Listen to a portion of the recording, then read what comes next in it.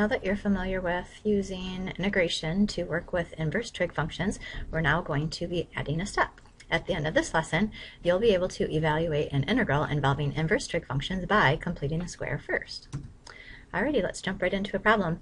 I notice in this one, because of the setup and the square root and the squared in there, I know that I'm going to be attempting to make this problem look like an arcsine problem, but we do need to complete the square in the denominator to set, get the problem set up. So I'm first of all going to factor out the negative.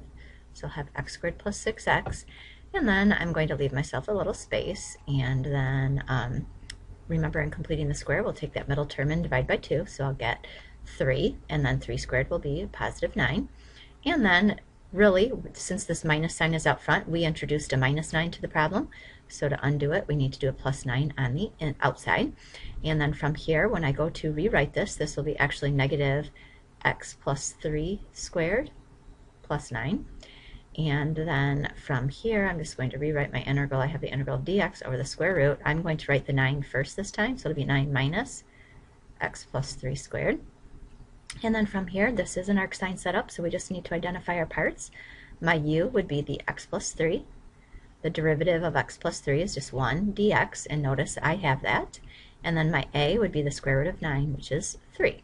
Okay, and then if I did rewrite this problem, um, I'm actually just not even going to rewrite the problem. It is an arcsine setup. I know all my pieces are there, so I'm just ready to take the integral. And my formula is just simply arc arcsine u over a, and that will just be x plus 3 over 3 plus c. All right, let's try another problem. Again, by looking at this setup, I can tell that it's going to be arc arcsine because it does have a square and a square root and there's nothing out front. So again, my goal will be to get it to look like an arc arcsine problem. I will complete the square again. I will bring a negative out front first and put it in order. So I'll get x squared minus 3x, leave myself a space, and then if I take negative 3 and divide it by 2, that would be negative 3 halves. And if I square negative 3 halves, I'll get positive 9 fourths. And technically, I really did a minus 9 fourths into the problem. So on the outside, I'll do a plus 9 fourths. If I rewrote that, that would be x minus 3 halves squared plus 9 fourths. And then from here, if I rewrite this problem, it's going to be 1 over the square root. I'd like to write my constant first, so 9 fourths minus x minus 3 halves squared dx, and it definitely is an arcsine setup. I just need to again identify my parts. u will equal x minus 3 halves du, the derivative of x minus 3 halves is just 1 dx, and I totally have that. And then my a, the square root of 9 fourths, is 3 halves. So I have everything that I need. So my answer is going to be arc sine u over a, so x minus 3 halves divided by 3 halves. And I don't need to put plus c, and I don't really need to simplify this because I'm going to be plugging things in. I'm going to evaluate it at 9 fourths and 3 halves. So if I plug in 9 fourths, 9 fourths minus 6 fourths would be 3 fourths divided by 3 halves, and then minus arc sine. If I plug 3 halves in, 3 halves minus 3 halves is 0.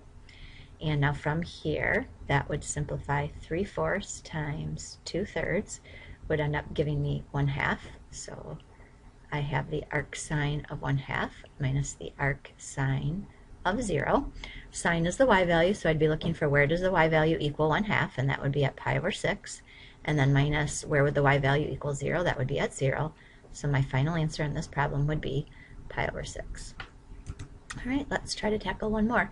Because of the setup of this problem in the section that we're dealing with, I know that I'm going to be looking for an arctan this time. Sorry about that. Pen was getting crazy there. Um, and I'm ready to complete the square. So I'm going to have x to the fourth minus 4x squared, leave myself a space. I'm going to put my plus 9 on the outside.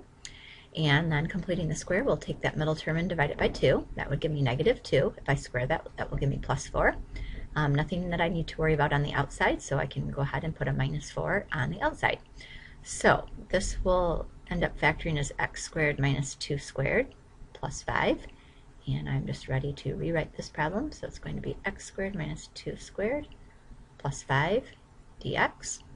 And it does look like an arctan setup. I just need to check my parts here. I'm going to have u equals x squared minus 2 my du, the derivative of x squared minus 2 would be 2x dx. I do have x dx, I'm missing the 2, so 1 half goes on the outside.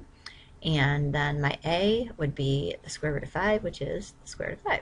All right, so it is 100% set up for an arctangent problem. So we'll carry down that 1 half, then it is 1 over a, so 1 over the square root of 5, arc tan u over a, so x squared minus 2 over the square root of 5.